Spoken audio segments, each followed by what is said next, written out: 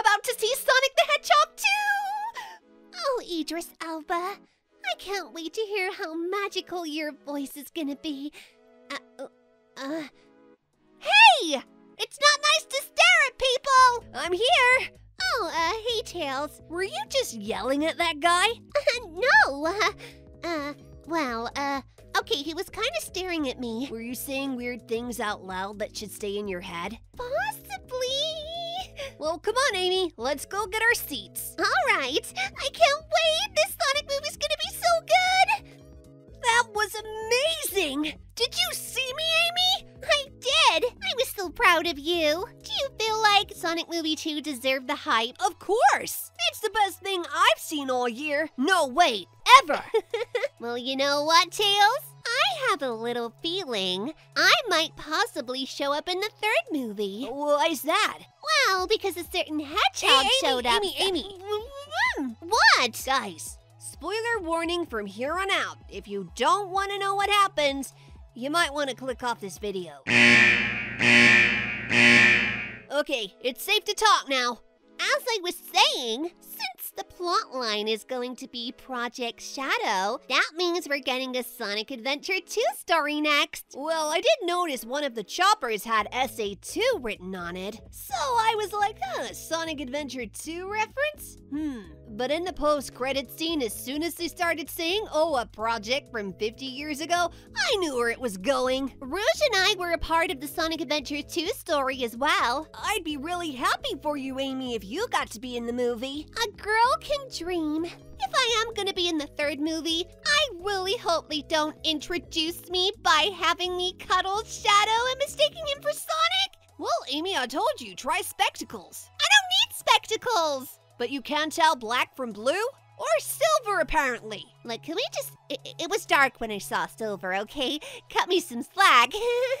Whatever you say. Can we talk about how Sonic went supersonic? It was incredible. That was so cool seeing that on the big screen. It was amazing. You know what? I'm still feeling a little bit bad that I hit Knuckles with a car. He seemed even stronger than he is in real life in that movie, so I wouldn't worry about it. Another one of my favorite parts was when Sonic and I had a dance off with the Russians. I was a little worried for you guys at first, but as soon as you put on Bruno Mars, you kicked their butts. Yeah, and we earned some respect too. Plus, you know, Uptown Funk's uh, pretty catchy. I'm too hot. Call the police and the fireman. I'm too hot. yeah, it's a pretty catchy tune. But Tails, the part when you said to Sonic about really being his pal, I started crying. It was just so adorable. Oh, well, uh, come on, I'm getting embarrassed now. Oh, but you two, you're just like the perfect best friends. I mean, well, uh... And I just wanted to die from cuteness when you guys were asleep by the fireplace and you put your tails over him. All right, It okay, was so okay, cute. Amy, okay. Look, it was a little chilly, okay?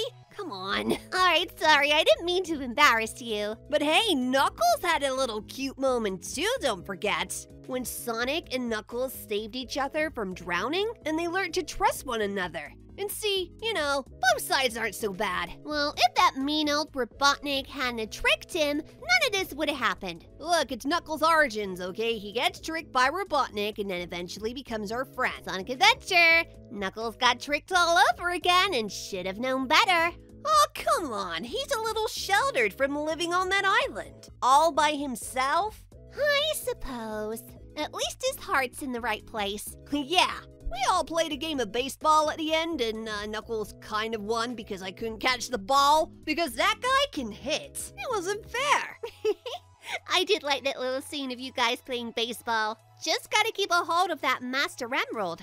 Well, since the next movie's gonna be an SA2 plotline, I wouldn't be surprised if the Master Emerald shatters. And then Knuckles and Rouge can have fun finding all of the pieces. Since Robotnik did get his butt kicked, he got a really good taste for the Master Emerald's power. So he's probably gonna go after it again. I think if Agent Stone got the emerald, he would make the world's greatest lattes. Don't you think? You're not supposed to like him, Amy. He's a bad guy. Oh, come on. The movies are just supposed to be a bit of fun. You really think I could be scared of Jim Carrey? I think he was pretty scary when he was controlling the Death Egg robot. Or at least I'm pretty sure it was a reference to that. That thing's huge. But you and Knuckles handled it perfectly. Oh, well, thanks. I was actually just the decoy. Knuckles did the hard work. How do you feel about GUN being part of the movie lore now? That just gives me more high hopes that we're gonna see Rouge. If there are more characters, they can sell more merch. Don't judge, okay? Just saying. Every big company does it. Bet they can't wait to sell those shadow plushies next time. Well, I might have already got myself a Tails from Build-A-Bear. They're pretty adorable, just like you. Stop. I guess we should probably talk about some of the other human characters we saw too. Well, Donut Lord and Maddie returned, but unfortunately they took a bit of a back seat in this movie. It was pretty cute when Sonic called him dad. Anyone would be lucky to have parents as great as those two. For sure. Sonic's got me and Knuckles now, so the family got even bigger. And when I come along, you're gonna have one more. If you're in the third movie, which I hope you are. Me too! I definitely got to show off my gadgets, that's for sure. I hope nobody thought they were too geeky. No way, Tails! They were super cool! Oh, well, thanks.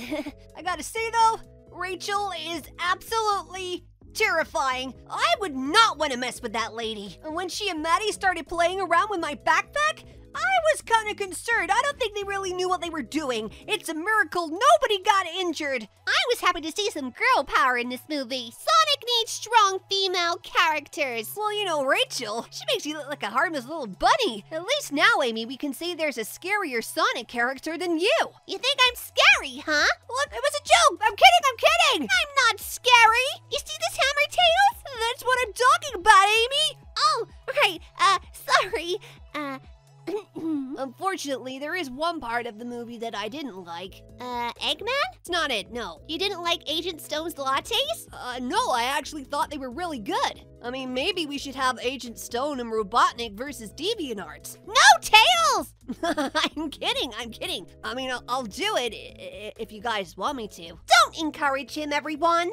There was a loss. Nobody died in the movie. Oh, they did, Amy. They did. Huh?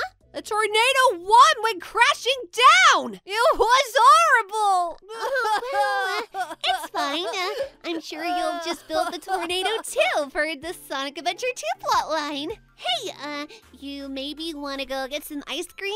ice cream sounds good. We can get sprinkles just like Knuckles was going to in the movie. That's an amazing idea. Let's do it. Okay. Oh, yeah, guys, if you enjoyed this video, then be sure to leave a like and in the comment section, let me know what your favorite part of the Sonic movie 2 was. And, uh, that was pretty cute, right? uh, bye, everyone!